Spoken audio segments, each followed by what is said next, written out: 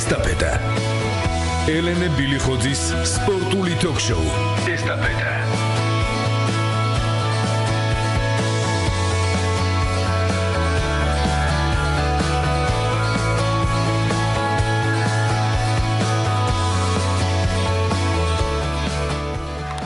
მოგესალმებით ეთერშია სპორტული თოქშოუ ესტაფეტა მიკროფონთან ელენე ბილიხოძე. წარმოგიდგენთ დღევანდელი ჩვენი გადაცემის თემას. ჟურნალისტი კახაბერიძე ჩვენ დღეს საფეხბურთო სამყაროს სიახლეების შესახებ საუბრობთ. შემოგვერთით 240-91-92-92-92-92 კითხვა და მოსაზრება რადიო 1 წერტილი ჯიზე გამოგვიგზავნეთ. საზოგადოებრივი რადიო 1 წარმოგიდგენთ.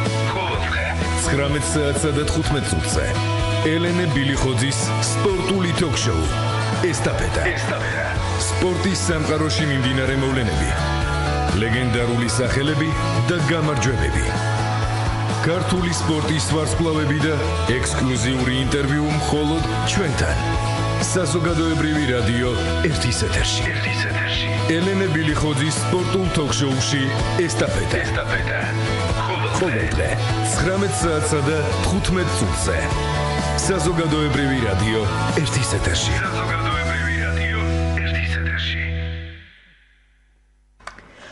კახა კიდევ ერთხელ მოგესალმებით. მადლობა რომ ხართ დღევანდელი ჩვენი გადაცემის სტუმარი. მოკლედ საფეხბურთო სამყარო ორი ძალიან მნიშვნელოვანი მატჩის მოლოდინშია. საუბარია ევროპის ლიგის გათამაშებაზე და ჩემპიონთა ლიგის გათამაშების ფინალურ დაპირისპირებებზე. მოდი თავდაპირველად აი ამ ორი შეხვედრის შესახებ თქვათ როგორია თქვენი მოლოდინი გამარჯობათ მოგესალმებით და მივესალმები რადიო სვენელებს. აა სწორად აღნიშნეთ დიახ საფეხბურთო სამყარო არის უახლოეს ხანებში ბუნებრივი არის ამ ორი საფეხბურთო სერიოზული მატჩის მოლოდინში ბუნებრივია და საერთოდ ესე არის ხო ყოველთვის ხა ჩემპიონთა ლიგა პირადად ჩემთვის და ალბათ ბევრი დამეთანხმება რომ ჩემპიონთა ლიგის გათამაშება არის უსერიოზულესი ტურნირი და შესაძლოა რაღაცა დონის სანაკრებო ტურნირებსაც თქვა თავისი თქვა ასე თქვა ნუ ეხლა მე არ მაქვს ევროპის და სოფლიოს ჩემპიონატებზე საუბარი მაგრამ სხვა ტიპის სანაკრებო ტურნირები რო იმართება შეიძლება ბუნებრივია მათ რაღაც პოპულარობით პრესტიჟით თავისთავად აღემატება დავიწყოთ ზეგ გასამართი მატჩით, ანუ 24 მაისს არის დაგეგმილი ქალაქ სტოკჰოლმში, შვედეთის დედაქალაქში ევროპის ლიგის ფინალი, სადაც ერთმანეთს დაუპირისპირებიან აიაქსი, ამსტერდამის აიაქსი და ჩემი სუსტი წერტილი თუ შეიძლება ასე ითქვას, მანჩესტერ იუნაიტედი, გუნდი, რომელსაც ბავშვობის შემდეგ უგომაგობ. რა თქმა უნდა, ორი ორი ფაქტორია აქ. ერთი ფაქტორი არის ის, რომ ეხა აიაქსისთვის ბუნებრივია ტიტული არის, რა თქმა უნდა, მნიშვნელოვანი და სერიოზული. მიუხედავად იმისა, რომ აიაქს ჩემპიონთა ლიგის საგზური, ასე ვთქვათ, დაბევებული აქვს, ანუ ჰოლანდიის ჩემპიონატში გავიდა იმ პოზიციაზე და იკავა ის ადგილი, რაც უფლებას აძლევს, რომ მომავალი, ანუ სექტემბრიდან დასაწყებ მომავალი წლის მსოფლიოს მომავალი სეზონის ჩემპიონატი ჩემპიონთა ლიგის გათამაშებაში აიაქსი იყოს, მაგრამ საპირისპირო ვითარება ამ ხრივ მანჩესტერ იუნაიტედის ბანაკში ასე ვთქვათ და მანჩესტერი რამე თუ მეექვსე ადგილზე დაასრულა მანჩესტერ იუნაიტედმა წლევანდელი სეზონის პრემიერ ლიგის გათამაშება და ნუ მეექვსე ადგილი არ ეძლევა იმის შესაძლებლობას მინიმუმ 4 ხეულში მაინც უნდა მოხვედრილიყო მანჩესტერი რომ დაებევებინა ასე ვთქვათ ადგილი და საგზური ჩემპიონთა ლიგას. და ერთადერთი შანსი არის ის, რომ უნდა მოიგოს ევროპის ლიგის გათამაშება, ანუ ფეხბურთის კომაქს რა თქმა უნდა ეცოდინება, რომ უკვე მეორე სეზონია. უეფამ გადაწყვიტა, რომ დამატებითი ასე ვთქვათ мотиваცია მიეცა მიეცა ევროპის ლიგის გათამაშებისთვის, გარდა იმისა, რომ ბუნებრივია რაღაც პრესტიჟია, ტიტულია, ბუნებრივია ფულადი ასე ვთქვათ ჯილდოც არის, მაგრამ ну უფრო მეტი мотиваცია რო ქონოდა გუნდებს გადაწყვიტა ესე უეფამ და მე მგონი სწორი გადაწყვეტილება იყო ჩემი აზრით მივესალმები ეს მართლაც კარგი გადაწყვეტილებაა რომ ევროპის ლიგის გამარჯვებული ავტომატურად ინახდებს ადგილს ჩემპიონთა ლიგაზე და ნუ ეს არის ბოლო შანსი манчестер იუნაიტედის. სხვათა შორის манчестер იუნაიტედს არაზრუს არ აქვს მოგებული ეს ტიტული. ანუ ადრე იყო UEFA-ს თასი გამახსოვრებად და ნუ შემდეგ UEFA-ს თასი გადაკეთდა ევროპის ლიგის გათამაშებად, ნუ თასების თასი უკვე აღარ არსებობს 99 წლიდან. და არაზრუს არ მოუგია манчестер იუნაიტედს UEFA-ს თასი და ნუ ეხლა უკვე ევროპის ლიგის ტურნირი და სხვათა შორის როდესაც ალექს ფერგიუსონი ლეგენდარული ფერგიუსონი 27 წლის მანძილზე იყო ხო იუნაიტედის მწვრთნელი როდესაც ერთ-ერთი ჩემპიონთა ლიგის გათამაშების შემდეგ ანუ ვერ გააღწია გუნდმა პლეიოფი ვერ გადალახა ანუ გავიდა მესამე ადგილზე და ფეხბურთის კომაგმა კარგად იცის რომ ჩემპიონთა ლიგაში მესამე ადგილზე გასული გუნდი ავტომატურად გადაერთვებოდა გადაერთვება ევროპის ლიგაზე და მე ძალიან კარგად მახსოვს მაშინ ალექს ფერგიუსენის ინტერვიუ როდესაც ეს იყო მართლაც სერიოზული სენსაცია ხა კონკრეტულად რომელ ჯგუფში ჩარჩა მანჩესტერი მაშინ აღარ მახსოვს მაგრამ ეს მართლაც ძალიან სერიოზული სენსაცია იყო რომ მანჩესტერ იუნაიტედი ჩარჩა ჩემპიონთა ლიგის ჯგუფში გავიდა მესამე ადგილზე ადგილზე გადაერთო ევროპის ლიგაზე და ერთ-ერთ პრესკონფერენციაზე ინტერვიუში კითხეს ფერგიუსონს ამასთან დაკავშირებით და ფერგიუსონმა ესეთი რამ უპასუხა. რა თქმა უნდა გული დამწყდა რომ ჩავჩი ჯგუფში ლიგის მაგრამ გახარებული მაგوار და მეტი мотиваცია მაქვს იმიტომ რომ შანსი მეძლევა მოვიგო ევროპის ლიგა და ჩემს სამწვრთნელო კარიერაში მოგებული მაქვს თქვა საკლუბო ყველანაირი საკლუბო ტურნირი მაქვს მოგებული რაც კი შეიძლება იყოს ერთადერთი ევროპის ლიგის გარდაო და ნუ შანსი მეძლევა მოვიგო მაგრამ ვერ მოიგო მაშინ ფერგიუსონმა და მანჩესტერ იუნაიტედმა სეზონში ევროპის ლიგა. აი ხა უკვე ფერგიუსონი აა მაურინიო მწვრთნელი რომელიც აა დაინიშნა უკვე მე მე ერთი წელია ხო პირველ სეზონს ატარებს მანჩესტერ იუნაიტედში და პრინციპში აქვს შანსი რომ ტიტული მოიპოვოს აა და ნუ რა თქმა უნდა ტიტულთან ერთად დაიბევოს და გაინაღდოს ჩემპიონთა ლიგის საგზური.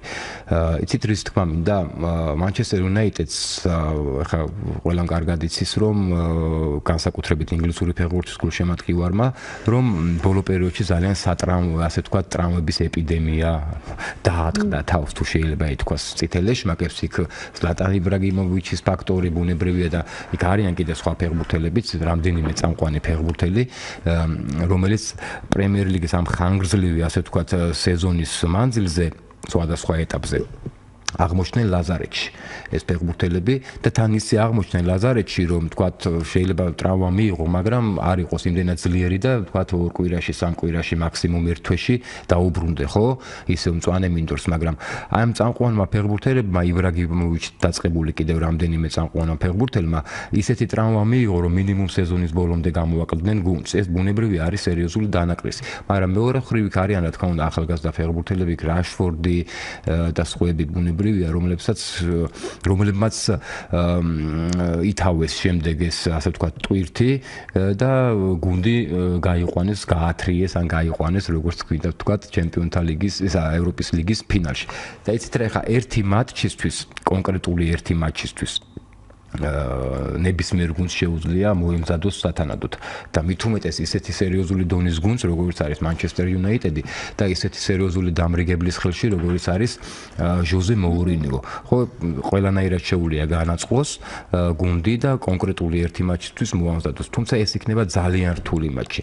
ჩემი აზრით წლევანდელი აიაქსი სულ ახალგაზრდა პატარა ბიჭებით არიან რა დაკომპლექტებული 18 19 20 წლის ბიჭები არიან და დაფრინავენ თუ შეიძლება ითქვას ულამაზეს ფეხ ფეხბურთს თამაშობენ. და ერთი პერიოდი მათ თამაშს რო უყურებდი მიმდინარე სეზონის გათამაშებაში ხო?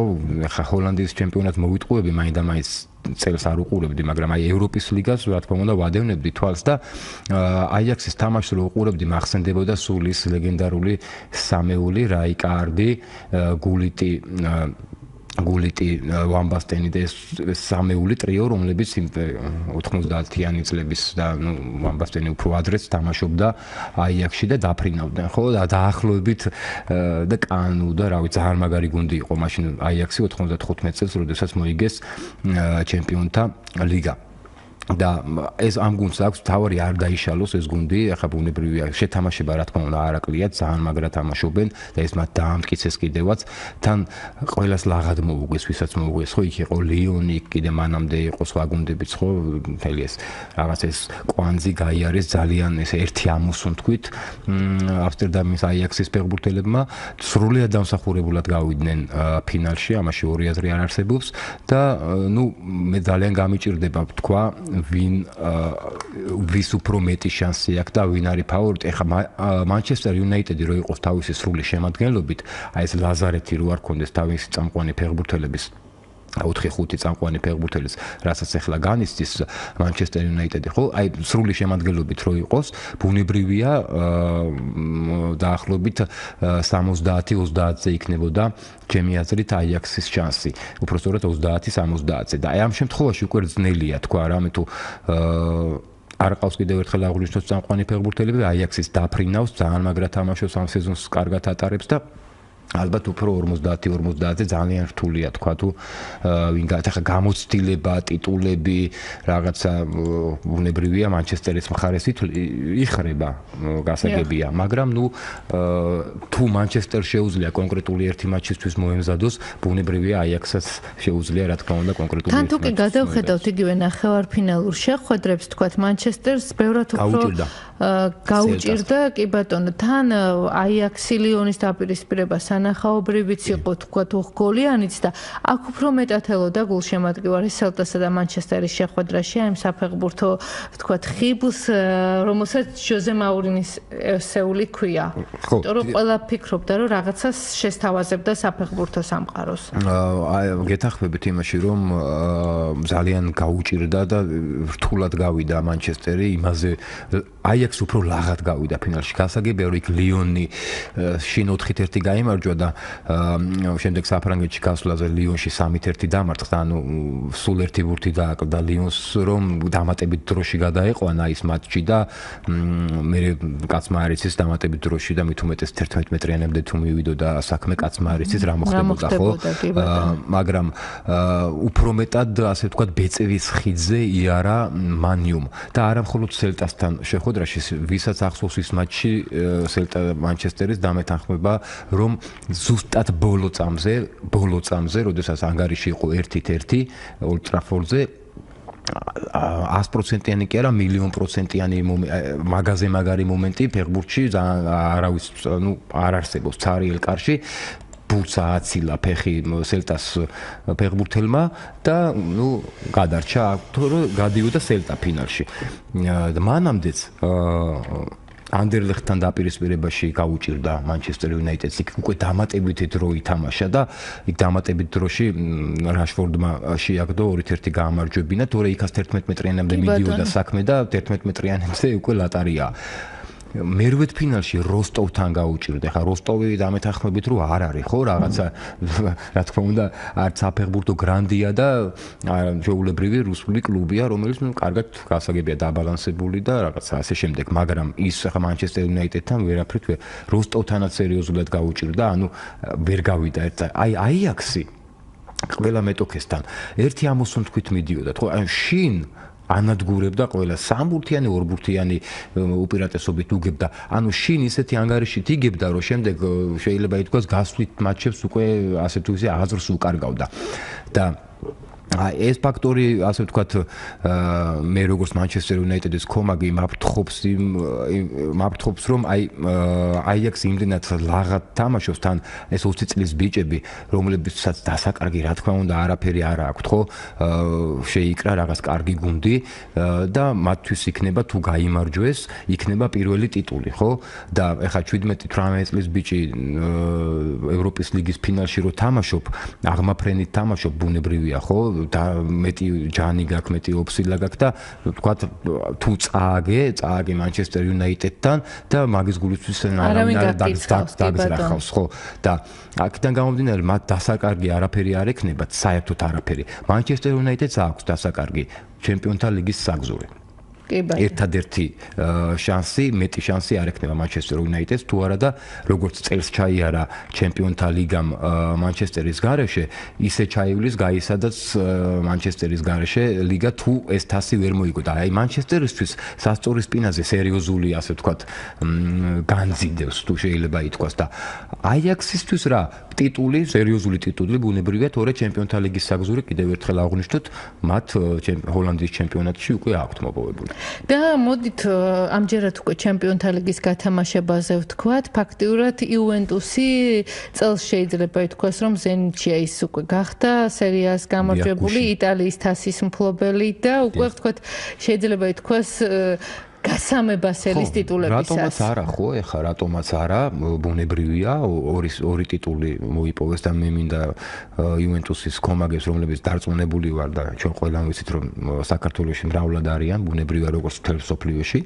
მიულოც ეს ასე ვთქვათ ტიტული მათ გუშინ გამოიმარჯვეს მათ სერიაში და შემდეგ თას მანამდე თასიც მოიგეს ლაციოსთან და ორი ასე ვთქვათ ჯილდო დადო მასიმილიანო ალეგრი და და ნუ დარჩა ერთი ყველაზე მთავარი ხო ბუნებრივია ჩემპიონთა ლიგის ფინალი საკვანძო მატჩი მათთვის და ისევე როგორც რეალისტს ეხა რეალი არის რეალმაც ანალოგიურად. არა თასი ვერა იღო და ვერც მოიპოვებს თავს რამე თუ თასის ფინალში რეალი არ არის მაგრამ გუშინ იუვენტუსის მსგავსად გუშინ რეალიც გახდა ესპანეთის ჩემპიონი ხო? ანუ ტიტული თავის ქვეყნის ტიტული მოიპოვა მადრიდის რეალმაც და ზიდანი მართლაც რა ვიცი მწკნელი მართლაც ესეთი კარგი მწკნელი აღმოჩნდა. სხვათა შორის ძალიან იშვიათია ესეთი მოვლენა როდესაც ფერბურთელი რომელიც თამაშობდა ამა თუ იმ გუნდში და შემდეგ გახდა იმ გუნდის მწვრთნელი გაეხადოს ის გუნდი ჩემპიონი. ესეთი არის ზიდანი რომელიც რეალში რა თქმა უნდა ჩვენ კარგად ვიცით წლების მანძილზე თამაშობდა და წამყვანი ფერბურთელი იყო როგორც რონალდოა დღეს რეალისტვის ისე იყო ბუნებრივია ზიდანი ფერბურთელობაშიც მოიპოვა ტიტული რეალთან ერთად შემდეგ მწვრთნელობაშიც თუ არ ვწდები ესეთი იყო არის წელს მოხდა მსგავსი ფაქტი ასევე ანჯელოტისთან დაკავშირებით, რომელმაც ბაიერნი გახადა ჩემპიონი და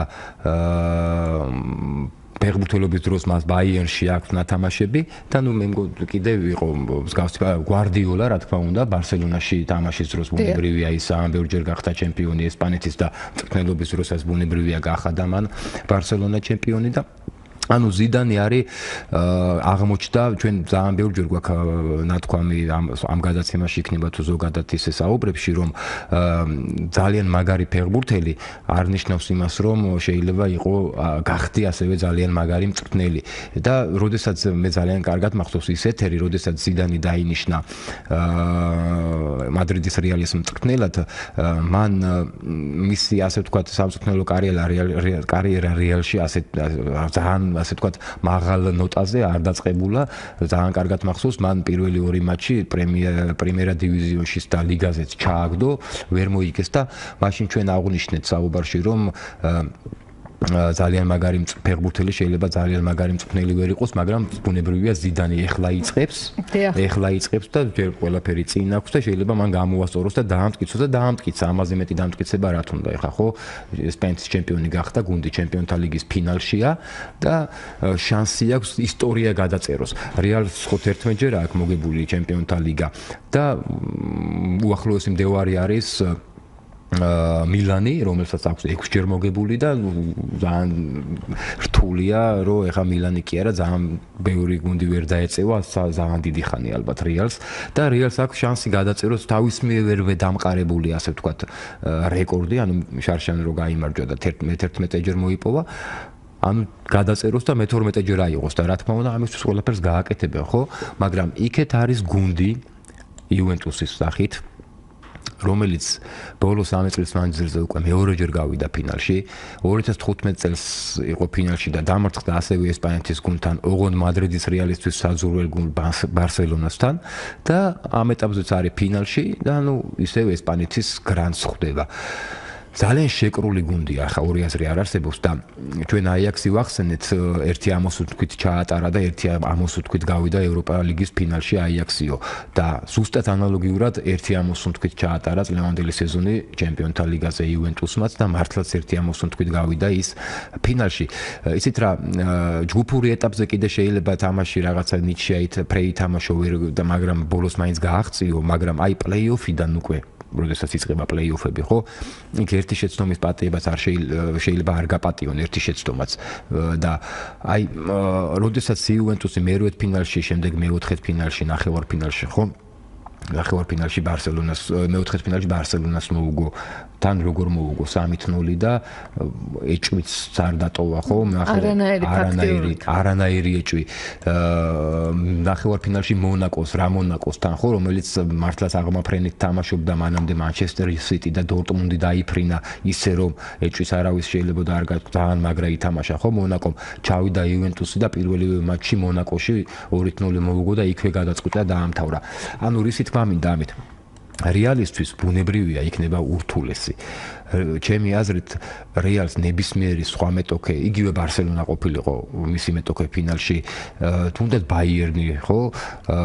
შეიძლება უფრო მეტი შანსი ქონოდა. აი პრაგმატულად მოთამაშე იუვენტუსთან, რომელსაც კატენაჩო და ასე შემდეგ, ხო? და პლუს ისეთი ფეხბურთელები დაკო დიბალა და ძალიან ბუფონი ყველაფერს რო თავი დავანებოთ დაკომპლექტებული იქნება ურთულესი. ჩემი აზრით ყველაზე ცუდი მეტოქე მეტოქე ერგო ფინალში თუ შეიძლება იყოს ასე. რა თქმა უნდა აღნიშნე კიდევაც რომ ჩემი აზრით ბარსელონას ბაიერნს ან სხვა ნებისმიერ გუნდს რა ატლეტიკო ხა ატლეტიკოს რა თქმა უნდა ყოფილიყო ფინალში რეალისტვის ჯობდა მე ესე მგონია აა ჩემი სუბიექტური აზრია რა თქმა უნდა ვიდრე იუვენტუსი იუვენტუსიდან ხო ვიცით ორი წლის წინ წაგებული ფინალი ისევ ფინალში და ძალიან ბევრი мотивация აქვს ხო იუვენტუსს მათ შორის ჯიჯი ბუფონსაც რომელსაც 29 წლის არის უკვე ბუფონი და ნუ რამდენ ხანს ღმერთმა რავი ძალიან დიდ ხანს ათამაშოს ჩვენ ესეთი ვარსკვლავები და ესეთი ფეგბურთი იმიტომაც გვიყვარს ხო? ჩვენ ფეგბურთი რომ ბუფონის ნაირი ვარსკვლავები თამაშობენ მათ შეგვეყვარეს ხო ფეგბურთი ითამაშოს ჩვენთვის კარგი იქნება ზოგადად ნეიტრალური და ფეგბურთის კომაგისთვის რომ მსგავსი დონის ვარსკვლავები რაც შეიძლება დიდხანს შემორჩნენ საფეხბურთო მოედნებზე, მაგრამ ნუ რამდენი ხანს ხო 39 წლის არის უკვე მაქსიმუმ 1-2 წელი და ჯიჯიც დაამთავრეს კარიერას. ეხლა რა ვინმე გარანტიას დადებს რომ გაისადაც იუვენტუსი შეიძლება ფინალში გავიდეს, რა თქმა უნდა არა, ხო? ანუ ბუფონისთვის ეს არის ბოლო შანსი მოიგოს ლიგა. მას ყველაფერი მოგებული აქვს ლიგის გარდა. ერთადერთი ტიტული რაც არ აქვს, ეს არის ლიგა. თუ საანაკრებო საკლუბო დონეზე ყველაფერი აქვს მოგებული. არ და ისე ნამდვილად საცოდაობა იქნება ბუფონმა კარიერა დაასრულოს და usამართლობაც რაღაც ერთგვარი რომ მას არ კონდეს ლიგა მოგებული. რა თქმა უნდა, რა თქმა უნდა, ჩვენ ეს არაერთხელ აღნიშნეთ წინა ეთერებშიც რომ ბუფონი არის, მაგრამ სხვათა შორის ეხა კონკრეტულად შეიძლება უცებ ვერ გავიხსენო ფეხბურთელი, მაგრამ ისტორიის მანძილზე ზოგადად ჩვენ გვახსოვს ძალიან სერიოზული ვარსკვლავები, თქვა თუ ვერ გახდა ისე დაუმთავრებიათ კარიერა, რომ რაღაცა ესა თუ ის ტიტული ვერ მოუგიათ რა.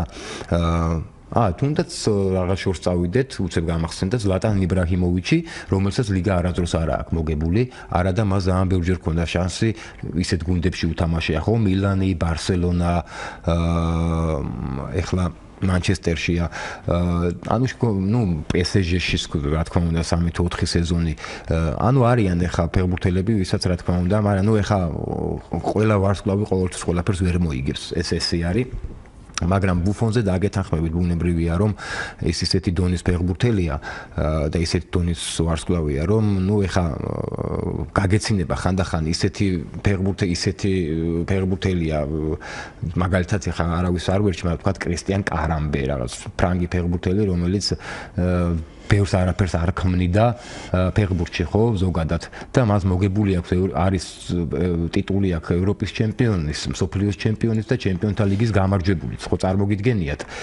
და ამასობაში ბუფონი და მსგავსი დონის ვარსკვლავები შეიძლება კარიერას ისე ასრულებდნენ. და აი ეს ერთ-ერთი ფაქტორია კიდევ ერთხელ აღვნიშნოთ იუვენტუსისთვის. დამატებითი мотивация ხო ჯიჯისთვისაც ბუნებრივია და და ძალიანი გუნდისთვის რომ ითამაშებენ ბუნებრივია. და საქმე რაშია იცით აა ძალიან ისეთ აა პრაგმატულ ფეხბურთს თამაშობს იუვენტუსი და აა ლამას ფეხბურთს რაც არ უნდა გასაკვირი იყოს, ახლა მე არ ვარ ძალიან მაინც და მაინც იტალიური ფეხბურთის კომაგი და განსაკუთრებით იუვენტუსის კომაგი. აი იუვენტუსი ხაი დელ პიერო კი ყავდა ვარსკვლავი, რომლებიც რაღაც სასწაულებს ჩადიოდნენ და სილამაზეებს აკეთებდნენ მოედანზე.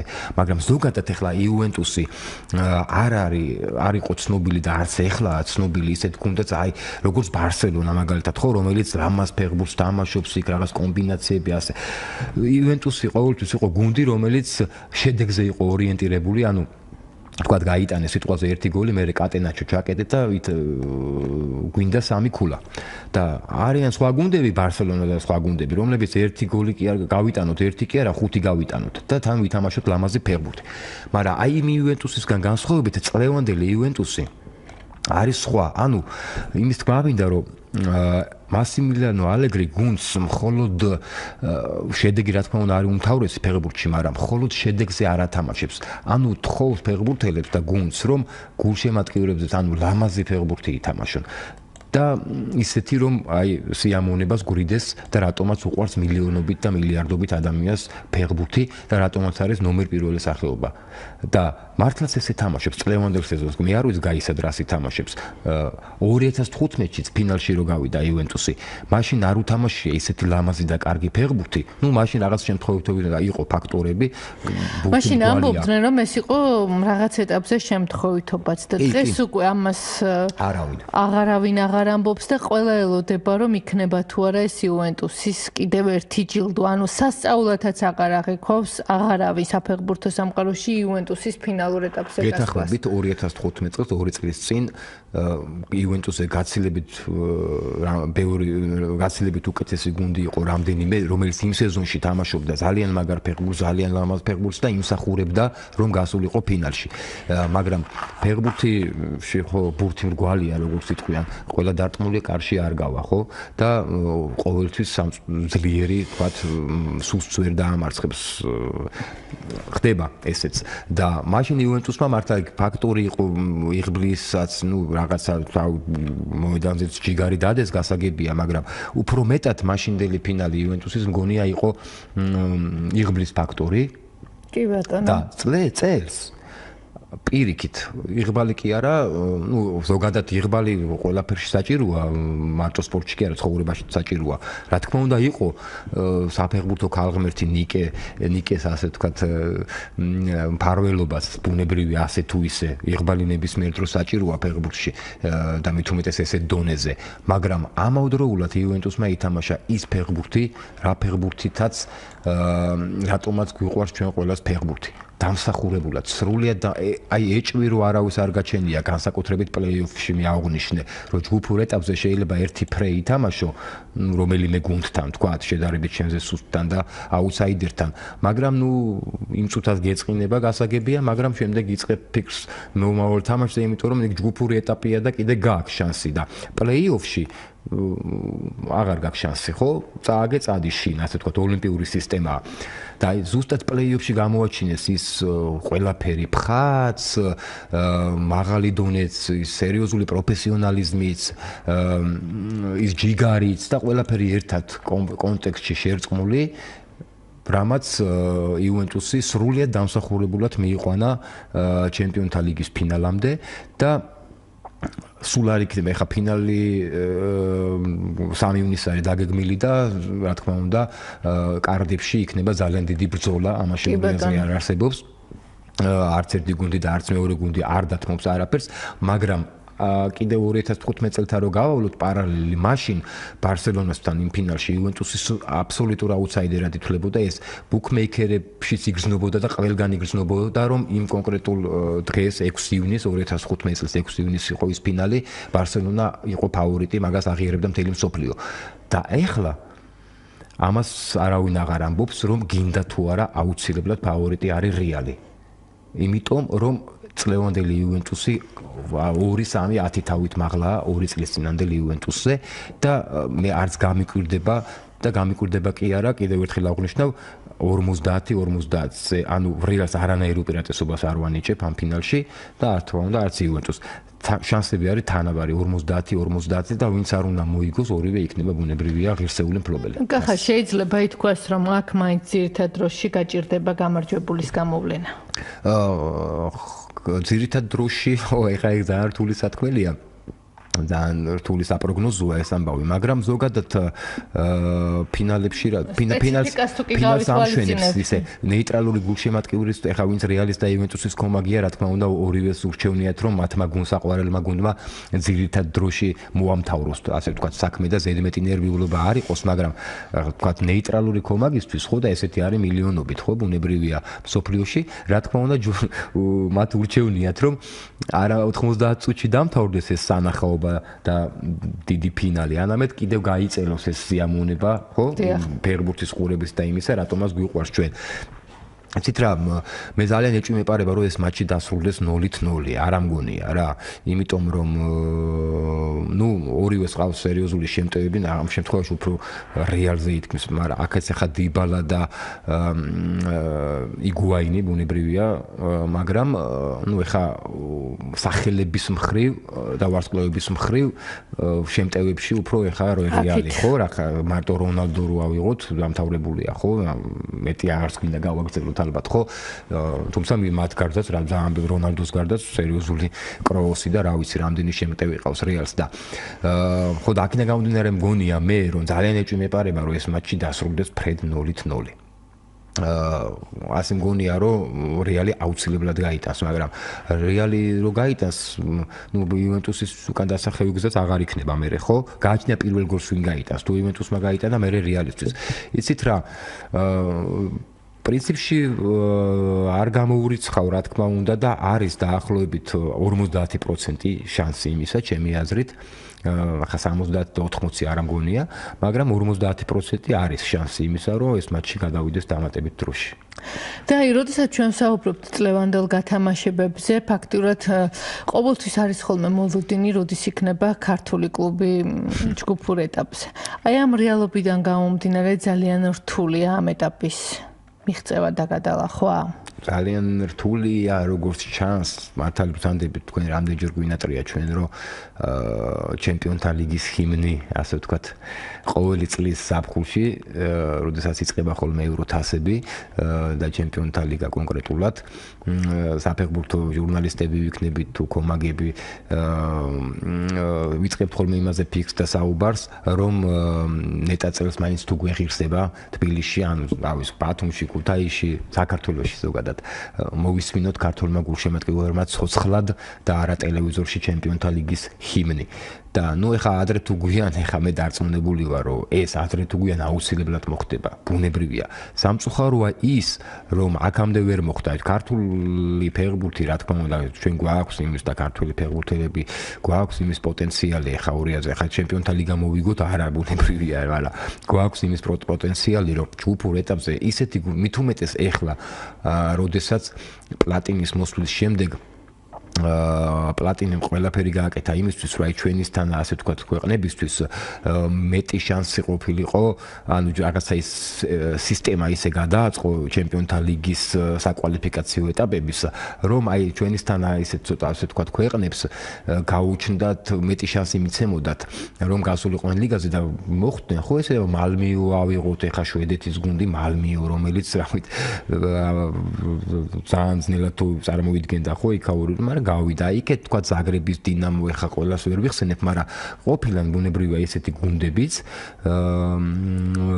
რომ აუთსაიდერ მათ შემდეგ ჯგუფურ ეტაპზე ბუნებრივია ვერაფერი ვეღარ გაუკეთებიათ მაგრამ ნუ ჩვენ პრინციპში ამ ეტაპზე ყაბულს ვართ იმაზეც რომ ოღონდ მაინც მოხვდეთ ჯგუფურ ეტაპზე და ნუ ეხა იქ ჯგუფიდან გასვლაზე რა თქმა უნდა მე მადაჭამაში მოდისო ეგ ზოგადად ნათქვამია ესეთი რა მაგრამ ნუ ამ ეტაპზე ჩვენი მთავარი საფიქრი არის აზრუნავი სადარდებელიც თუ შეიძლება ითქვას არის ის რომ ქართული გუნდი ადრე თუ გვიან მოხდეს და სხვათა შორის ყველაზე მაგარი შანსი 97 წელი იყო თუ არ ვწდები 97-98 წლის სეზონში თბილისის დინამოს კონდა როდესაც ბილბაოს ატლეტიკს აა შევხვდით თბილისში მოუგეთ 2-1 ის მატჩი და შემდეგ გასვლაზე ან პლეიოფი იყო რა ჩემპიონთა ლიგის და გასვლაზე წავაგეთ 1-0 და პენალტით გაუშვით ის გულიც ბილბაოში ბოლო წუთები იყო რა. ძალიან თვალნათლი მახსოვს ძალიან მაგრა განვიცადეთ მაშინ ჩვენ ყველა აი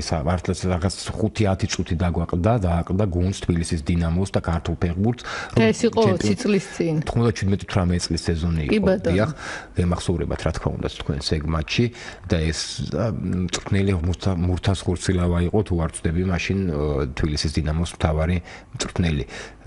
და ნუ ძალიან მაგარი შანსი მაგრამ ნუ მოხდა ის რაც მოხდა და იმის შემდეგ ესეთი მაგარი შანსი რაც მაშინ იყო თბილისის დინამოს სამწუხაროდ აღარ ქონია. თუმცა ბედნიერება მაინც ქონია იმისა, რომ 2004 წელს ქართული კლუბი და ისევ თბილისის დინამო ევროპის ლიგის ჯგუფურ ეტაპზე მოხვდა. ეს იყო გია გეგუჩაძის დროს 2004 წელს, ნუ გასაგებია რომ ეგ ჯგუფში 4-ვე თამაში დაუმარცხდით, მაგრამ მაშინ დინამომ მართლაც ძალიან დიდი სიხარული მიუტანა ქართულ გულშემატკივარს, როდესაც 2004 წელს ჯგუფური ეტაპი, ანუ საკვალიფიკაციო ეტაპის სამი ეტაპი გაიარა.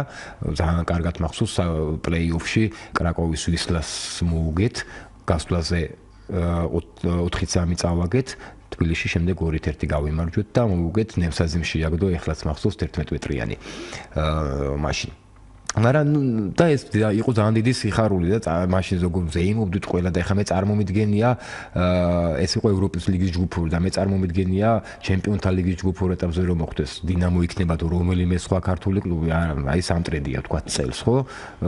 წელს ითამაშებს სამტრედია ჩემპიონთა ლიგის ლიგაზე წარმოადგენს საქართველოს. მოხდეს როგორი სიხარული იქნება მთელ საქართველოში ხო და მე დარწმუნებული ვარ ადრე თუ გვიან ჩვენ ეს სიხარული ამ სიხარულს მოვესწრებით და ეს სიხარული გველს, მაგრამ ჩვენ რა თქმა უნდა გვინდა რომ აქამდეც გვინდოდა რომ ეს ყოფილიყო, მაგრამ ნუ მე მჯერა მჯერა რომ ქართული ფეხბურთი თავის სიტყვას კიდე იტყვის.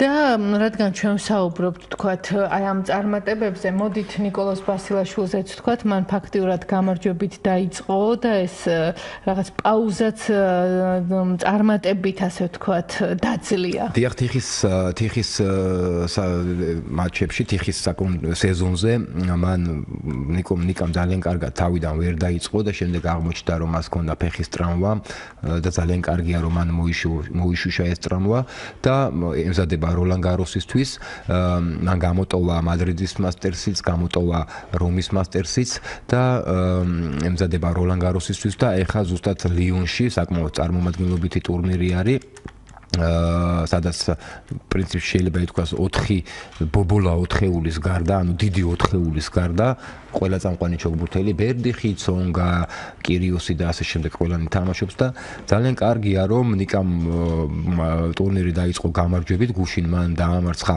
საკმაოდ ისეთი პერსპექტიული ძლიერი ბიჭი, ხორვატი ბორნა ჩორიჩის სახით სამსეთში გამარჯვა და ხვალ მას უწევს უკვე მერვეთ ფინალში მას უწევს დაპირისპირება იტალიელ ანდრიას სეპისთან და სავარაუდოდ აა ნუ სეპი უკვე ვეტე, ნუ ასე ვთქვათ, ასაკშია, თუ შეიძლება ითქვას და მისი ასე ვთქვათ, საუკეთესო წლები, იტალიელი საუკეთესო წლები უკვე გავლილია ჩოგბურთში და მე ალბათ უფრო ნიკას ექნება და ფავორიტი ჩემი აზრით ამ კონკრეტულ წყულში იქნება ნიკა და ძალიან კარგი იქნება თუ ხვალ ნიკა გამოიმარჯვოს გარდა იმისა, რომ სარეიტინგო ქულები და ასე შემდეგ და ფორმაში შევა.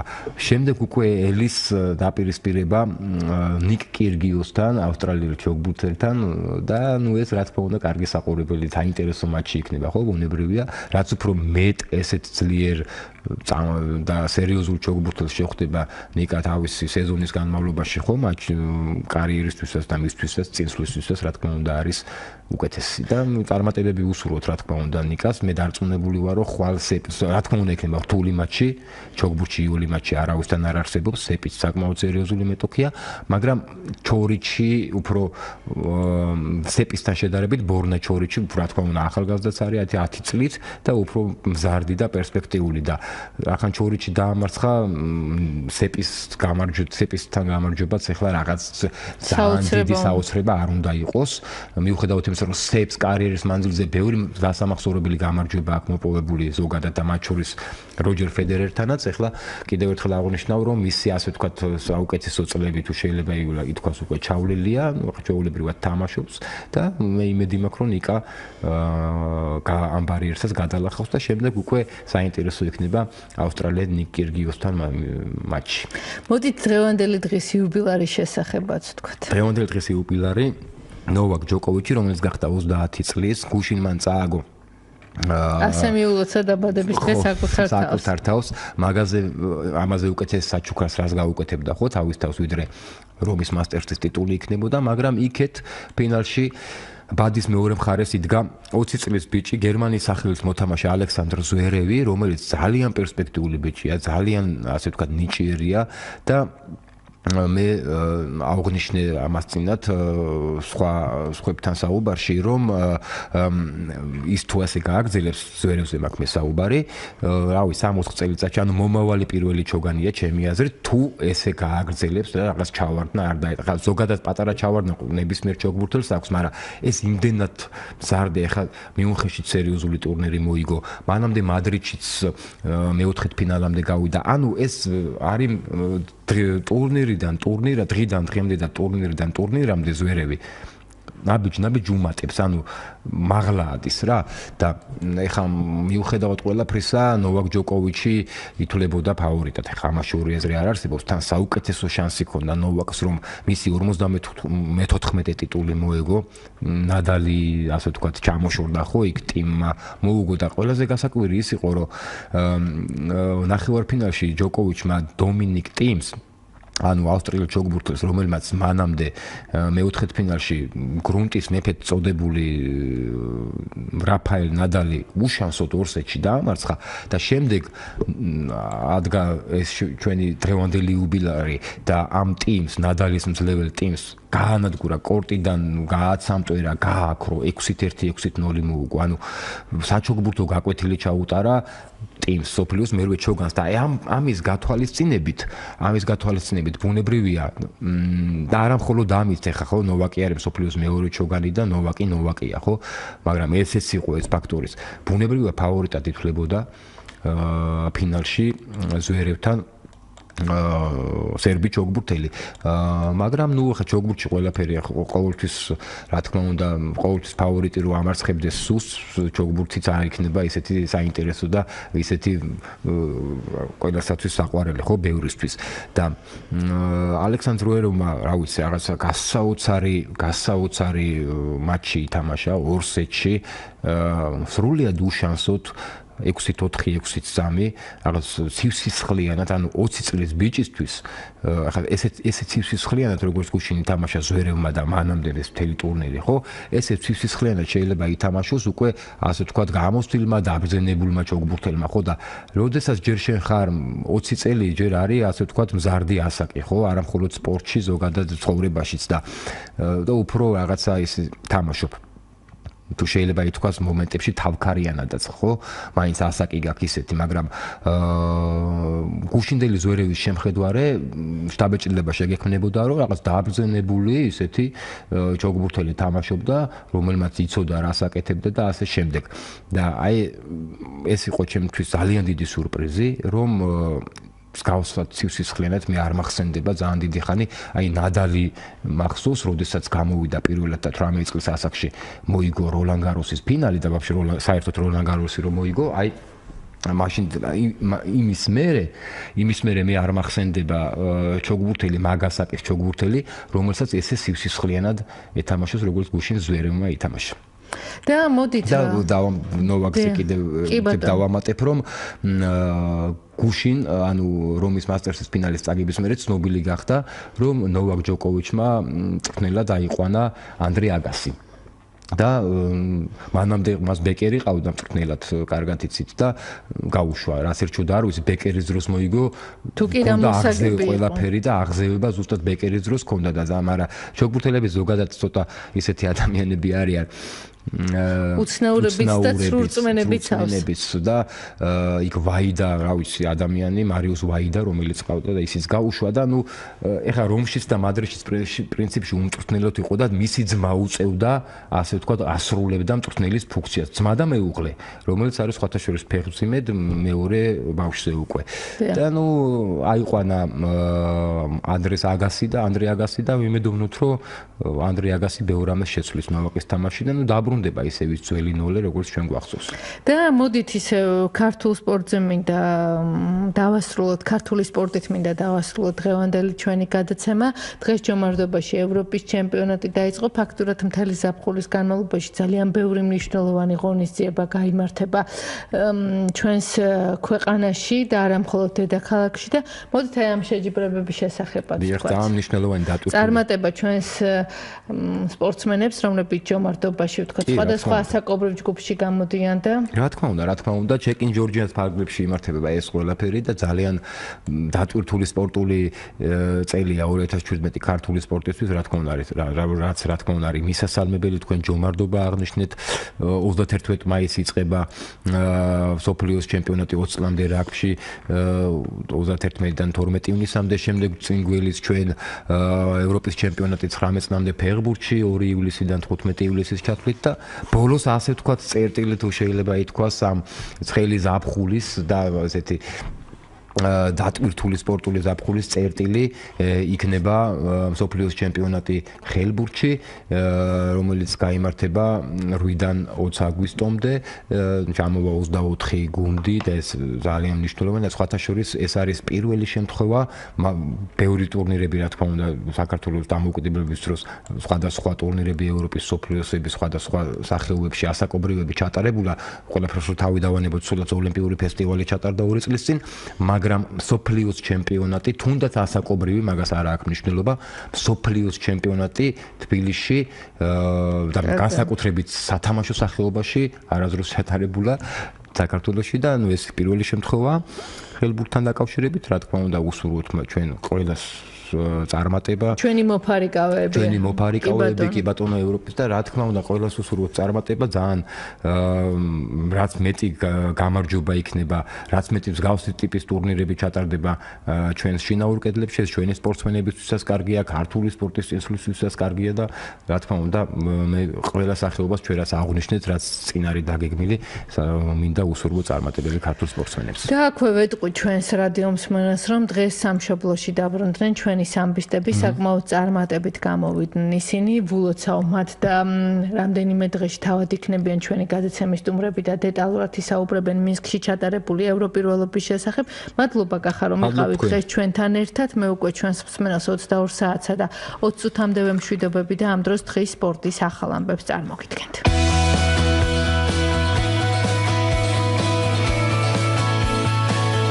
ესტაფეტა ელენე ბილიხოძის სპორტული ток-შოუ ესტაფეტა